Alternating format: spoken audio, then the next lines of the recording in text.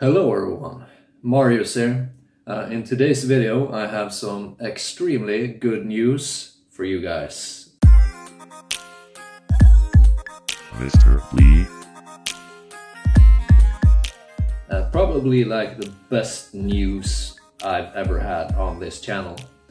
Um, so keep a hold of your seats. I don't know. Yeah. Um, here it comes. Praydog, the creator of the Resident Evil mods for PC. Now he did like Resident Evil uh, 2 the remake, 3 the remake, 7 and 8. All of those games were like playable in VR pretty much overnight, right? Uh, that guy picked up a project by another person on the flat screen to VR Discord channel that I've been following for a pretty long time now, uh, where there, there's this user who is trying to make every Unreal Engine game playable in VR. And Praydog has picked up that project and start started porting over the work that is done with the Resident Evil games because uh, from what I've read, like that was written in C++ code. Correct me if I'm wrong, but uh, uh, and Unreal Engine uses C++ as its programming language. So that makes like the process like porting over from what I've understood pretty straightforward. I don't know, it's probably not straightforward at all. But there's another person on Discord who spent a lot of time on making like uh, the Unreal Engine games playable in VR. Can't remember the person's name, but I've been following along that for a pretty long time now.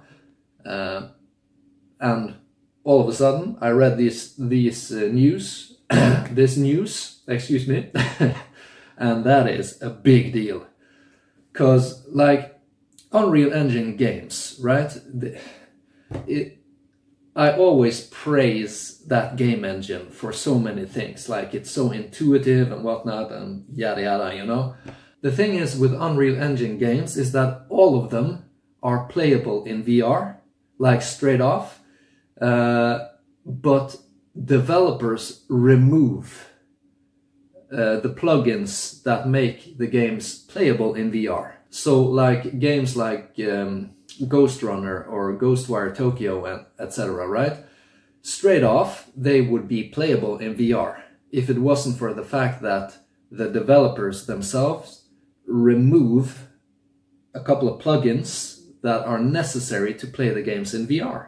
Unity, on the other hand, is built up in a totally different way which means uh, uh, that modding those games into VR are is much more straightforward because um, you can access the source code and like a lot of stuff.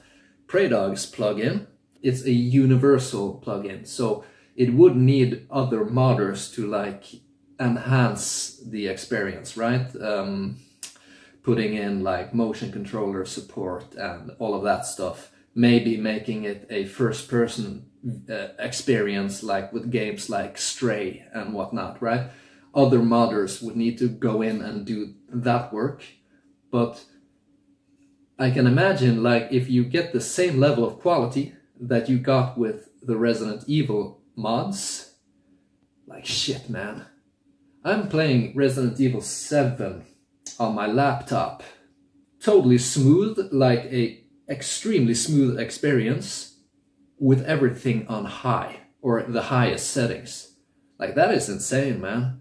Because uh, that that's a that's a freaking laptop. That's because of the work from of Praydog, right? Uh, now, like imagine every Unreal Engine game. Like then we're gonna play a proper Batman VR experience, man. Like proper stereo 3D uh, and all of that jazz, like everything. So a great day for flat screen to VR enthusiasts. Uh, this was announced a while ago, but I didn't hear about it because I haven't really been that much active on the flat screen to VR Discord lately. Uh, as some of you know, uh, who have watched my other videos, me and my wife were having a baby, so I've kind of been uh, up to my neck in stuff to do. Um, but this is awesome news, man. Holy crap. Okay, so that's it for today, folks. Two big ass thumbs up to us flat screen to VR gamers. A lot of good stuff is coming. Okay, I'll catch you on the next one. See you, folks.